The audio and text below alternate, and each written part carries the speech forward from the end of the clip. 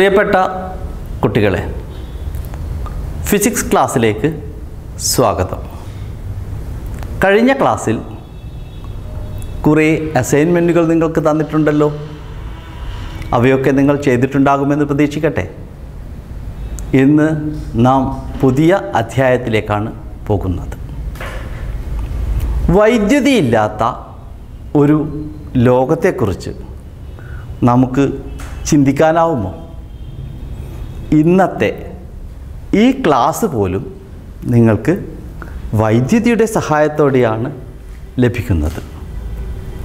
എട്ടാം ക്ലാസ്സിൽ സ്ഥിതവൈദ്യുതി എന്ന അധ്യായം നാം പഠിച്ചിട്ടുണ്ടല്ലോ. സ്ഥിതവൈദ്യുത ചാർജിന്റെ സാന്നിധ്യം അറിയാനുള്ള ഉപകരണം ഏതാണ്? അതെ ഇലക്ട്രോസ്കോപ്പ്. ഒരു ഇലക്ട്രോസ്കോപ്പിനെ നമുക്ക് ചാർജ് ചെയ്താലോ?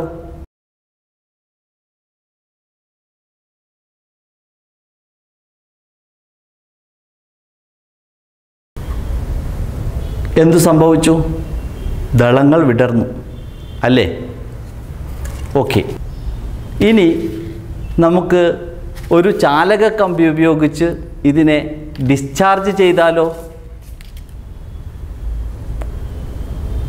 ഭൂമിയുമായി ബന്ധിപ്പിച്ച ഒരു ചാലക കമ്പിയാണിത്. ശ്രദ്ധിക്കൂ. എന്ത് സംഭവിച്ചു?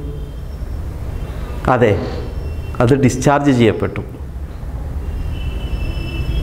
ഇലക്ട്രോസ്കോപ്പിലെ ചാർജ് പോസിറ്റീവ് ആണെങ്കിൽ ഇലക്ട്രോണുകൾ ഭൂമിയിൽ നിന്ന് ഇലക്ട്രോസ്കോപ്പിലേക്ക് പ്രവഹിക്കും എന്ന് നമുക്കറിയാമല്ലോ. ഇനി ഇലക്ട്രോസ്കോപ്പിലെ ചാർജ് നെഗറ്റീവ് ആണെങ്കിലോ ആ അതെ. ഇലക്ട്രോസ്കോപ്പിലെ ചാർജ് നെഗറ്റീവ് ആണെങ്കിൽ ഇലക്ട്രോണുകൾ ഇലക്ട്രോസ്കോപ്പിൽ നിന്ന് ഭൂമിയിലേക്ക് പ്രവഹിക്കും. ഓക്കെ. ഇനി നമുക്ക് മറ്റൊരു പരീക്ഷണം ചെയ്താലോ? ഇതിലെന്തൊക്കെയാണുള്ളത്? അതെ നിങ്ങൾ ബാറ്ററി എന്ന് വിളിക്കുന്ന സെൽ ഡ്രൈ സെൽ. പിന്നെയോ കണക്റ്റിംഗ് വയറുകളുണ്ട്. ഒരു ബൾബ് കാണുന്നില്ലേ? ഇവിടെ ഒരു സ്വിച്ചുമുണ്ട്. ഈ സ്വിച്ച് ഞാൻ ഓൺ ചെയ്യട്ടെ? ആ എന്ത് കാണുന്നു? ബൾബ് പ്രകാശിക്കുന്നുണ്ട്. ഓക്കെ. ഒന്നുകൂടി ഓൺ ചെയ്യട്ടെ? അതെ ഇപ്പോഴും പ്രകാശിക്കുന്നുണ്ട്. ഒന്നുകൂടി ഓൺ ചെയ്യാം. പ്രകാശിച്ചുകൊണ്ടിരിക്കുന്നു. അതെ നേരത്തെ ചെയ്ത പരീക്ഷണത്തിൽ ഇതുപോലെ തുടർച്ചയായ വൈദ്യുത പ്രവാഹം സാധ്യമാണോ? അല്ല അല്ലേ? ഈ തരത്തിൽ ഒഴുകുന്ന വൈദ്യുതിയെക്കുറിച്ച് ധാരാവൈദ്യുതിയെക്കുറിച്ച് കറണ്ട് ഇലക്ട്രിസിറ്റിയെക്കുറിച്ചാണ് നാം ഈ അധ്യായത്തിൽ പഠിക്കാൻ പോകുന്നത്. നിത്യജീവിതത്തിൽ നാം ഉപയോഗിക്കുന്ന ഉപകരണങ്ങളൊക്കെ കറണ്ട് ഇലക്ട്രിസിറ്റിയുമായി ബന്ധപ്പെട്ടതാണ്. ഓക്കെ ഇത്ര സമയം ചെയ്തതിൽ നിന്ന് ഒരു അസൈൻമെന്റ് തരട്ടെ? നിങ്ങൾ ചെയ്യുമല്ലോ. Cell bulb connection wire switch എന്നിവ ഉൾപ്പെടുത്തി ബൾബ് പ്രകാശിക്കുന്ന രീതിയിൽ സർക്യൂട്ട് നിർമ്മിക്കുക. ലഘു സർക്യൂട്ടിന്റെ ഡയഗ്രം സയൻസ് ഡയറിയിൽ വരക്കുക. A cell bulb connecting wire and switch are given. Make a circuit and illuminate the bulb. Draw a circuit diagram in your science diary ചിത്രം ശ്രദ്ധിച്ചോ? സെല്ലിന്റെ പ്രതീകം കണ്ടോ? വലിയ വര പോസിറ്റീവിനെയും ചെറിയ വര നെഗറ്റീവിനെയും സൂചിപ്പിക്കുന്നു. ബൾബിന്റെ പ്രതീകം ശ്രദ്ധിച്ചോ? ഓക്കെ. ഇനി സ്വിച്ചിന്റെ പ്രതീകം കണ്ടോ? ഇപ്പോൾ സ്വിച്ച് ഓഫ് പൊസിഷനിലാണ്. അതായത് സർക്യൂട്ടിൽ കൂടി വൈദ്യുതി പ്രവഹിക്കുന്നില്ല. ഇതുപോലെ ഒരു ലഘു സർക്യൂട്ടിന്റെ ചിത്രം നിങ്ങൾ സയൻസ് ഡയറിയിൽ വരയ്ക്കേണ്ടതുണ്ട്. നമുക്ക് ചില പ്രവർത്തനങ്ങൾ ചെയ്തു നോക്കാം. ഒരു പന്ത് താഴേക്ക് വീഴുന്നു.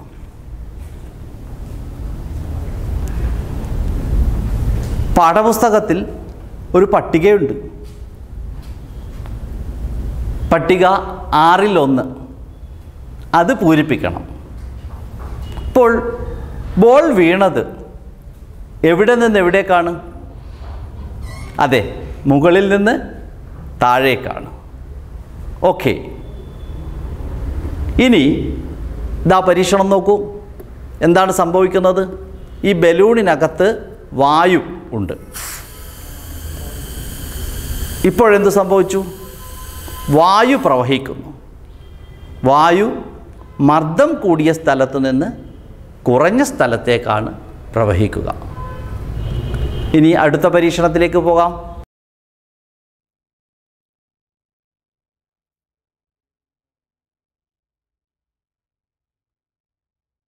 ഇത് കളർ ചേർത്ത വെള്ളമാണ്.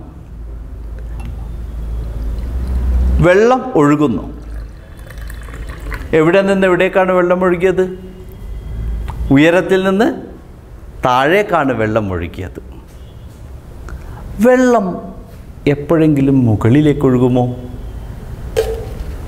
ഏതെങ്കിലും സന്ദർഭം ഒന്ന് ആലോചിച്ച് പറയൂ. ആ അതെ. നിങ്ങളുടെ വീട്ടിലെ കിണറിൽ നിന്ന് വെള്ളം മുകളിലെ ടാങ്കിലേക്ക് ഒഴുകുന്നുണ്ട്. അവിടെ ഉയരത്തിൽ നിന്ന് താഴേക്കാണ് ഒഴുകിയത്. അല്ല. കൂടുതൽ ഊർജം ഉപയോഗിച്ചാണ് നമ്മൾ വെള്ളത്തെ മുകളിലേക്ക് എത്തിക്കുന്നത്. അപ്പോൾ നമ്മുടെ പട്ടിക ഒന്ന് ശ്രദ്ധിച്ചു നോക്കാം നമുക്ക്. സന്ദർഭം. ബോൾ വീഴുന്നത് ഉയരത്തിൽ നിന്ന് താഴേക്ക്. വായു ഒഴുകുന്നത് മർദ്ദം കൂടിയ ഭാഗത്ത് നിന്ന് കുറഞ്ഞ ഭാഗത്തേക്ക്. ജലം ഒഴുകുന്നത് ഉയരത്തിൽ നിന്ന് താഴേക്ക്. Ball falling down downwards from a higher level to a lower level flowing of air from a region of high pressure to a region of low pressure flowing of water downwards from a higher level to a lower level ഈ ട്യൂബിൽ കൂടി വെള്ളം ഒഴുകുന്ന സാഹചര്യം ഒന്ന് ശ്രദ്ധിക്കൂ. ഇപ്പോൾ ഒഴുകുന്നുണ്ട്.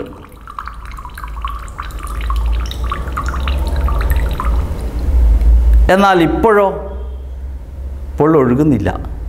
എന്തുകൊണ്ടാണ് ഇപ്പോൾ ഒഴുകാത്തത്? അതെ ഇപ്പോൾ ഈ കുഴലിന്റെ ഈ ട്യൂബിന്റെ രണ്ട് അഗ്രങ്ങളും ഒരേ നിരപ്പിലാണ്. അപ്പോൾ ജലപ്രവാഹം ഉണ്ടാകണമെങ്കിൽ അതെ നിരപ്പിൽ വ്യത്യാസമുണ്ടായിരിക്കണം. അപ്പോഴെന്തിലാണ് വ്യത്യാസം വരുന്നത്? അതെ നിങ്ങൾക്കറിയാം. സ്ഥിതികോർജത്തിൽ വ്യത്യാസം. സ്ഥിതികോർജത്തിൽ വ്യത്യാസമുള്ളപ്പോഴാണ് ജലം ഒഴുകുന്നത്. പൊട്ടൻഷ്യൽ എനർജിയിൽ വ്യത്യാസമുണ്ടാകുമ്പോൾ. ഇനി നമുക്ക് വൈദ്യുതിയുടെ പരീക്ഷണത്തിലേക്ക് പോകാം. നിരീക്ഷിക്കൂ. ഞാൻ സ്വിച്ച് ഓൺ ചെയ്യട്ടെ? ബൾബ് പ്രകാശിക്കുന്നില്ലല്ലോ. എന്തു പറ്റി? അതെ നിങ്ങൾ കണ്ടുപിടിച്ചു. ഇവിടെ സെൽ ഇല്ല. അപ്പോൾ വൈദ്യുത പ്രവാഹം ഉണ്ടാകണമെങ്കിൽ ഏറ്റവും നിർബന്ധമായി വേണ്ട ഒരു കാര്യം സെൽ അഥവാ ബാറ്ററിയാണ് ഓക്കെ?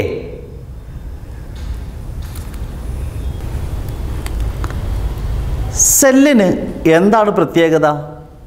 അതെ ഇതിന്റെ മേലെ പോസിറ്റീവ് എന്നും ഇവിടെ നെഗറ്റീവ് എന്നും എഴുതിയിട്ടുണ്ട്. ഇനി ഈ സെല്ല് ഉപയോഗിച്ച് നമുക്ക് ബൾബ് പ്രകാശിപ്പിക്കാം.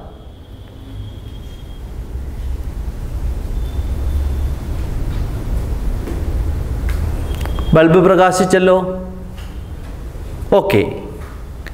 ഇനി ഇവിടെ തന്നെ കൊടുത്താലോ രണ്ട് കണക്ഷനും? പ്രകാശിക്കുന്നില്ല. രണ്ട് വയറിന്റെ അറ്റവും ഇവിടെ കൊടുത്താലോ? പ്രകാശിക്കുന്നില്ല. അപ്പോൾ വൈദ്യുത പ്രവാഹം സാധ്യമാകണമെങ്കിൽ ഇതിന്റെ രണ്ട് അഗ്രങ്ങൾക്കിടയിൽ പൊട്ടൻഷ്യൽ വ്യത്യാസമുണ്ടായിരിക്കണം. എന്താണ് പൊട്ടൻഷ്യൽ വ്യത്യാസം എന്ന് നമുക്ക് പരിചയപ്പെടാം. ഒരു ചാലകത്തിന്റെ അഗ്രങ്ങൾക്കിടയിൽ പൊട്ടൻഷ്യൽ വ്യത്യാസം ഉണ്ടായാൽ മാത്രമേ വൈദ്യുത പ്രവാഹം സാധ്യമാകൂ. ഒരു ചാലകത്തിലെ രണ്ട് ബിന്ദുക്കൾക്കിടയിൽ വൈദ്യുത പ്രവാഹം അഥവാ കറണ്ട് ഉണ്ടാകണമെങ്കിൽ ആ ബിന്ദുക്കൾ തമ്മിൽ ഇലക്ട്രിക് പൊട്ടൻഷ്യലിൽ വ്യത്യാസം ഉണ്ടായിരിക്കണം ഇലക്ട്രിക് പൊട്ടൻഷ്യൽ കൂടിയ ഭാഗത്തു നിന്നും കുറഞ്ഞ ഭാഗത്തേക്കാണ് കറന്റ് ഒഴുകുക. പൊട്ടൻഷ്യൽ വ്യത്യാസത്തിന്റെ യൂണിറ്റ് വോൾട്ട് ആണ്. ഇത് അളക്കാനുള്ള ഉപകരണമാണ് വോൾട്ട് മീറ്റർ. ഒരു ബിന്ദുവിൽ നിന്ന് മറ്റൊരു ബിന്ദുവിലേക്ക് ഒരു കുളോം ചാർജ് എത്തിക്കാൻ വേണ്ടി ഒരു ജൂൾ പ്രവൃത്തി ചെയ്തുവെങ്കിൽ ആ ബിന്ദുക്കൾ തമ്മിലുള്ള പൊട്ടൻഷ്യൽ വ്യത്യാസം ഒരു വോൾട്ട് ആണ് there should be a potential difference between two points of a conductor if there is to be a flow of current between them. Current flows from a point of high electric potential to a point of low electric potential. The unit of potential difference is volt. V. Voltmeter is the device to measure this. If one joule of work is done to move one coulomb charge from one point to another, then the potential difference between the points is 1 volt. ഒരു ലഘു circuit അഥവാ simple circuit ആണ് നിങ്ങൾ ഇപ്പോൾ കണ്ടുകൊണ്ടിരിക്കുന്നത്. ഇവിടെ സെല്ലുകൾ cell വെച്ചിട്ടില്ല ഈ സർക്യൂട്ടിൽ നിങ്ങൾക്ക് ശ്രദ്ധിക്കാൻ പറ്റും. ഇനി സ്വിച്ചാണിത് ആ സ്വിച്ച് ഓൺ ചെയ്തിട്ട് ബൾബ് പ്രകാശിക്കാത്തതിന്റെ കാരണം നിങ്ങൾക്കറിയാം. സെല്ല് ഘടിപ്പിച്ചിട്ടില്ല. നമുക്കൊരു സെല്ല് കൂടി ആ സർക്യൂട്ടിൽ ഘടിപ്പിക്കാം. ആ സെല്ലിന്റെ ആ മഞ്ഞ ഭാഗം പോസിറ്റീവ് നിങ്ങൾ സൂക്ഷിച്ച് നോക്കിയാൽ നിങ്ങൾക്ക് കാണാം അവിടെ പോസിറ്റീവ് സെല്ലിന്റെ സാധാരണ സെല്ലിന്റെ പോസിറ്റീവാണത് കറുത്ത ഭാഗം നെഗറ്റീവാണ് ഇനി സ്വിച്ച് ഓൺ ചെയ്ത് നോക്കാം. ബൾബ് പ്രകാശിക്കുന്നു വൈദ്യുതി പ്രവഹിക്കുന്നതാണ് ഇവിടെ ആ ഒരു ചുവന്ന ആരോ മാർക്ക് കൊണ്ട് സൂചിപ്പിച്ചിട്ടുള്ളത്. അപ്പോൾ നമുക്ക് കാണാം പോസിറ്റീവിൽ നിന്ന് നെഗറ്റീവിലേക്കാണ് വൈദ്യുതി പ്രവഹിക്കുന്നത്. പണ്ടുകാലത്തൊരു സങ്കല്പമാണ് വൈദ്യുതി ഉള്ളത് പോസിറ്റീവ് ഇല്ലാത്തത് നെഗറ്റീവ് എന്ന് അങ്ങനെയാണ് വൈദ്യുത പ്രവാഹത്തെ സൂചിപ്പിക്കുന്നത്. വൈദ്യുത ചാർജ്. അതേസമയം നമുക്ക് പിന്നീട് നമ്മൾ മനസ്സിലാക്കിയത് ഇലക്ട്രോണുകളുടെ പ്രവാഹമാണ് വൈദ്യുത പ്രവാഹമെന്ന് പിന്നീട് ശാസ്ത്രജ്ഞന്മാർ കണ്ടെത്തുകയും അങ്ങനെ നെഗറ്റീവ് ശരിക്കും പറഞ്ഞാൽ ഇലക്ട്രോണുകൾ ഏറ്റവും കൂടുതലുള്ള സ്ഥലം നെഗറ്റീവ് പോളാണ് സെല്ലിന്റെ. അവിടെ നിന്ന് പോസിറ്റീവിലേക്കാണ് യഥാർത്ഥത്തിൽ വൈദ്യുതി ആ വൈദ്യുത ചാർജ് പ്രവഹിക്കുന്നതെന്ന് നമുക്കറിയാം. ഇതാണ് യഥാർത്ഥത ഇലക്ട്രോൺ. എന്നാൽ നമ്മളിപ്പോഴും നമ്മുടെ ഉപകരണങ്ങളൊക്കെ ഡിസൈൻ ചെയ്തിട്ടുള്ളത് വൈദ്യുത പ്രവാഹം പോസിറ്റീവിൽ നിന്ന് നെഗറ്റീവിലേക്ക് പോകുന്നു എന്ന കൺസെപ്റ്റ് വെച്ചാണ്. ഇനി അങ്ങോട്ട് നിങ്ങൾ പരിചയപ്പെടേണ്ടത് വൈദ്യുതി പ്രവഹിക്കുന്നത് പോസിറ്റീവിൽ നിന്ന് നെഗറ്റീവിലേക്ക്. അപ്പോൾ പോസിറ്റീവ് ചാർജിന്റെ പ്രവാഹമാണ് വൈദ്യുത പ്രവാഹം എന്നാണ് നമ്മൾ കണക്ക് കൂട്ടുന്നത് ഇപ്പോൾ നിങ്ങൾ കാണുന്നത് ഒരു പ്രതീകങ്ങൾ ഉപയോഗിച്ച് എങ്ങനെ നമുക്കിത് പറയാമെന്നുള്ളതാണ്. ഒരു സർക്യൂട്ട് പ്രതീകങ്ങൾ ഉപയോഗിച്ചുള്ള സർക്യൂട്ടാണ് നിങ്ങൾ കാണുന്നത്. ഇത് സെല്ലാണ്. സെല്ലിന്റെ വലിയ വര പോസിറ്റീവും ചെറിയ വര നെഗറ്റീവുമാണ്. സ്വിച്ചിന്റെ പ്രതീകമാണത്. ബൾബിന്റെ പ്രതീകം ഒരു റാ എന്ന് എഴുതിയിട്ട് ഒരു വൃത്തം വരച്ച ബൾബിന്റെ പ്രതീകമായി. സ്വിച്ച് ഓൺ ചെയ്തിരിക്കുന്നു. പോസിറ്റീവിൽ നിന്ന് നെഗറ്റീവിലേക്ക് വൈദ്യുത പ്രവാഹം ആണ് നിങ്ങളിപ്പോൾ കണ്ടുകൊണ്ടിരിക്കുന്നത്.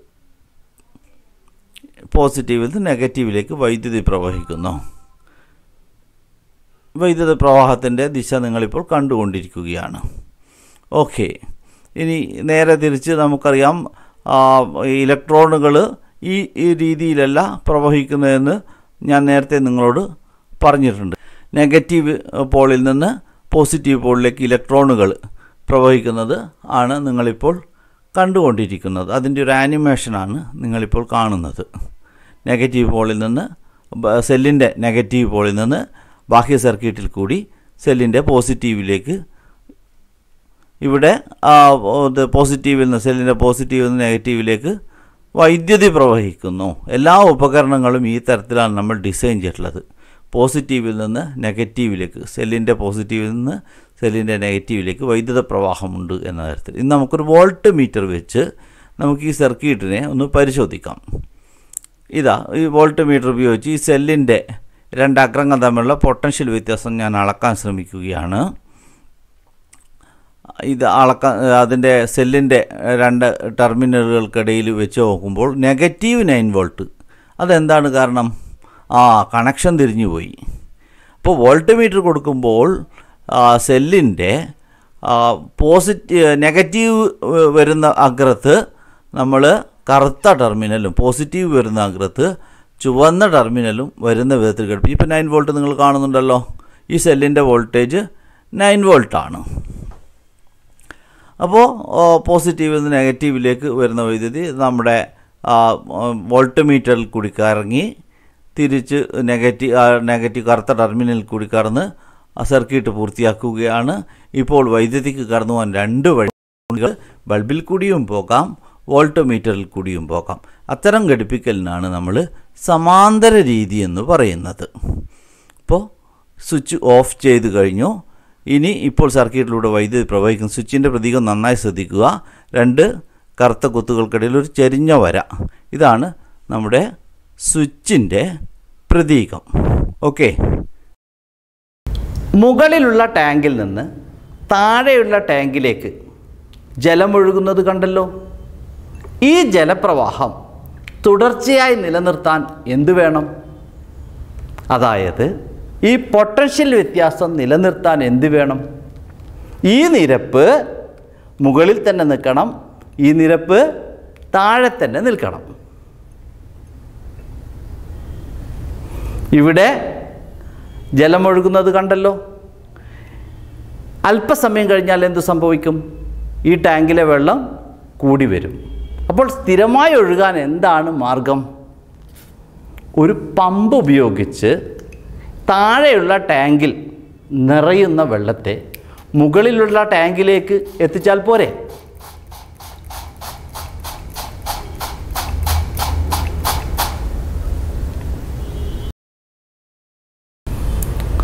ഒരു ചാലകത്തിൽ കൂടി തുടർച്ചയായി വൈദ്യുതി പ്രവഹിക്കണമെങ്കിൽ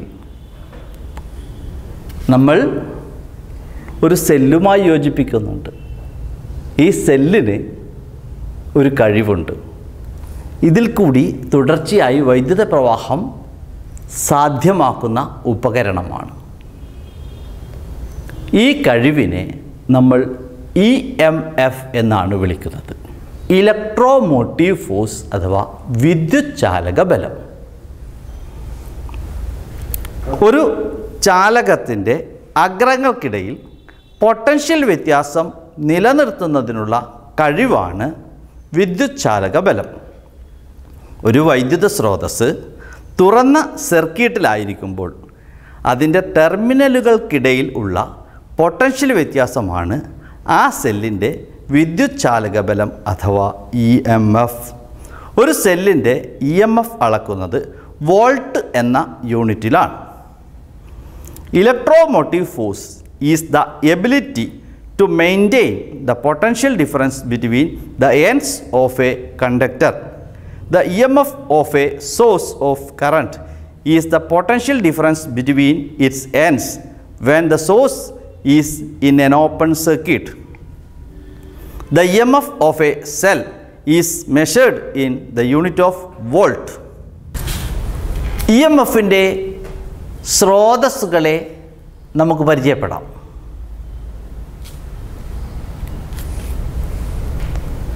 എന്താണിത്? അതെ ഇതാണ് സെൽ ഡ്രൈ സെൽ ഇനി മറ്റൊരു ഡ്രൈ സെൽ എടുക്കട്ടെ? ഇതുപോലെയുള്ള ധാരാളം ഡ്രൈ സെല്ലുകൾ നിങ്ങൾ നിത്യജീവിതത്തിൽ ഉപയോഗിക്കുന്നുണ്ടല്ലോ. ഇതിൽ നടക്കുന്ന ഊർജമാറ്റം എന്താണ്? What is the energy change yes ഇതിൽ രാസോർജം വൈദ്യുതോർജമാകുന്നു chemical energy is changed to electrical energy okay. ഇനി നമുക്ക് മറ്റൊരു ഇ എം എഫിന്റെ സ്രോതസ്സിനെ പരിചയപ്പെടാം.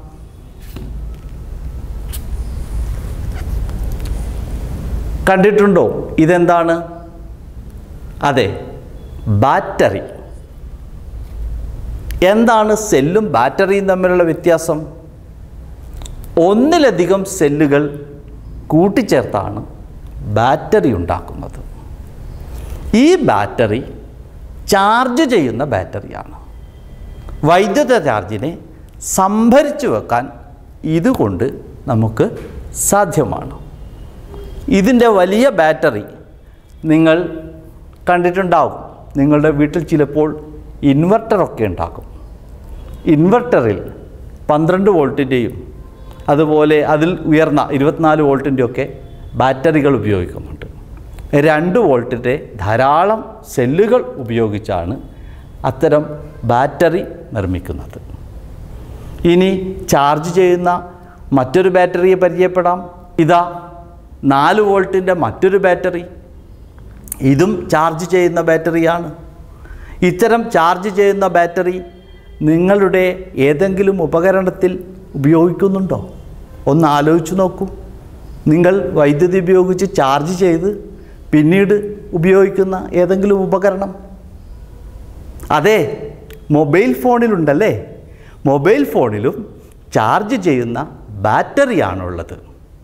ഓക്കെ സമയം കിട്ടുമ്പോൾ അതിന്റെ വോൾട്ടേജ് ഒക്കെ എത്രയാണ് എന്ന് നിങ്ങൾ നിരീക്ഷിച്ച് കണ്ടുപിടിക്കുക.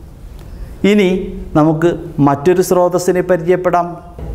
ഇതാണ് സോളാർ സെൽ. Solar cell.